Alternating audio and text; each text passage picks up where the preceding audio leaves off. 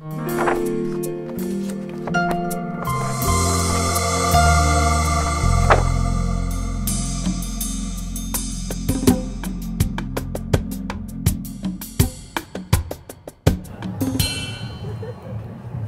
Presentem el franquisme a Castelló, 30 anys de producció històrica de Fernando Peñarrambla, que ha sigut publicat per el Servei de Publicacions de la Universitat Jaume I de Castelló.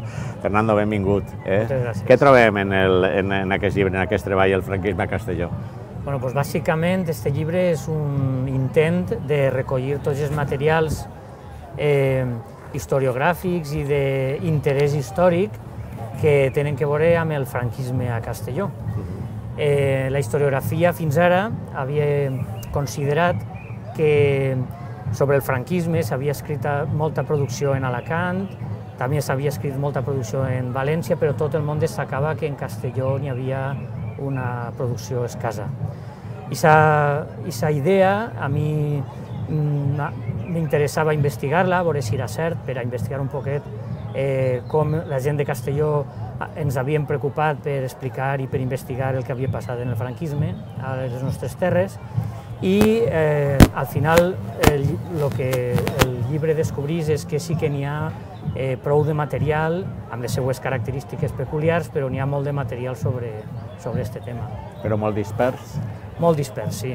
Fonamentalment eh, podem trobar dos etapes en la producció de, de la història del franquisme a Castelló, una inicial que està molt marcada per l'absència d'estudis de, universitaris a Castelló, en la que moltes persones individualment van fer eh, un intent de recuperar la memòria personal i la memòria col·lectiva de Castelló, amb uns resultats molt desiguals, i després ja amb la consolidació de la Universitat Jaume I i les línies d'investigació que, ha, que han setat, pues, eh, ja s'ha consolidat una oferta historiogràfica molt més abundant i molt més variada. Este recull eh, historiogràfic l'has ordenat temàticament al llibre. Sí, eh? sí, sí. Quins criteris has seguit, has seguit per a ordenar-los en aquestes temàtiques? Sí, mm, la dificultat sobretot era en no trobar una gran quantitat de llibres que podíem considerar d'història, llibres científics. Aleshores, eh, vaig pensar que una distribució temàtica eh, aclariria més eh, tots els aspectes que, o les perspectives que s'havien adoptat.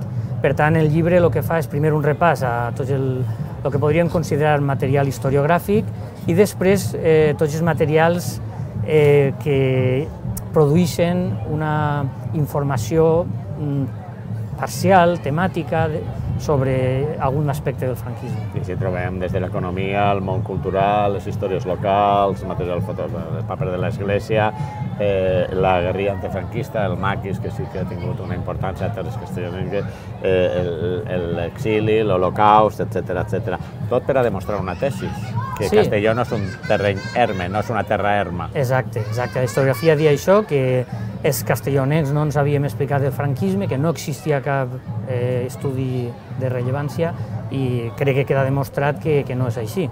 Que els castellonens sí que hem tingut preocupació per explicar el nostre passat més immediat i ho hem fet de, dins del marc que hem pogut, en les nostres possibilitats, etc. Destacaries alguns trets especials que marquen aquesta eh, vivència del franquisme a les terres de Castelló?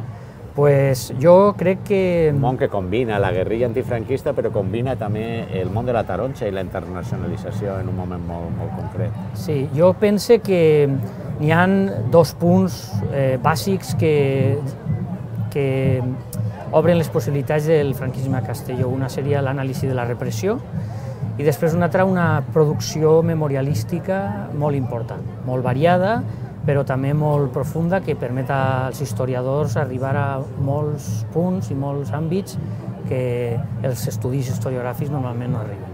I quins noms podries destacar? Pues, N'hi ha molts, tots coneguts a nivell local, però eh, podríem parlar pues, de l'obra, per exemple, del Cardenal Tarancón, podríem parlar de Vicente Marco Miranda, podríem parlar de Dario Rubio, podríem parlar de Manuel Vicent també, en la seva obra de literatura, però que també té un fort component memorialístic.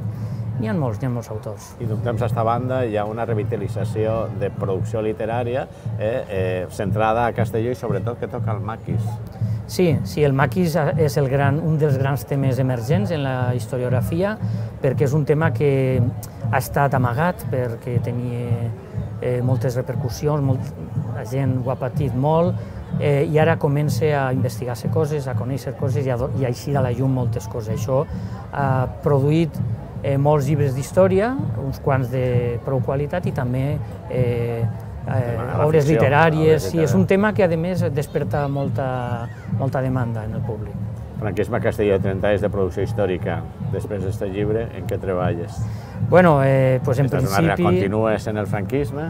Eh, intentem continuar i eh, des de distintes perspectives i bueno, ara estic un poquet en stand-by després de l'esforç d'aquest llibre, però sí, la intenció és continuar eh, obrint camins els camins que indiquen en el llibre. Historiogràficament, Castelló no, no és terra erma. Eh, no, no, no és definitivament no. Sé que temen aquesta història. Molt bé.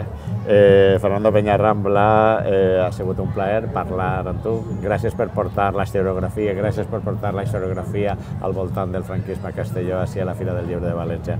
El franquisme a Castelló, 30 anys de producció històrica, 1986-2015. Sort en el llibre i que vinguen molts més treballs. Molt bé, moltes gràcies. Bye.